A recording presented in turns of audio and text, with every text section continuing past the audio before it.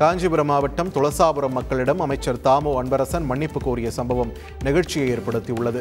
ஸ்ரீபெரும்புதூர் ஒன்றியத்திற்கு உட்பட்ட துளசாபுரம் ஊராட்சியில் நடந்த நிகழ்ச்சியில் இருநூற்று முப்பத்தைந்து பயனாளிகளுக்கு அமைச்சர் நலத்திட்ட உதவிகளை வழங்கினார். இதற்காக பொதுமக்கள் பல மணி நேரம் காத்து கிடந்தனர்.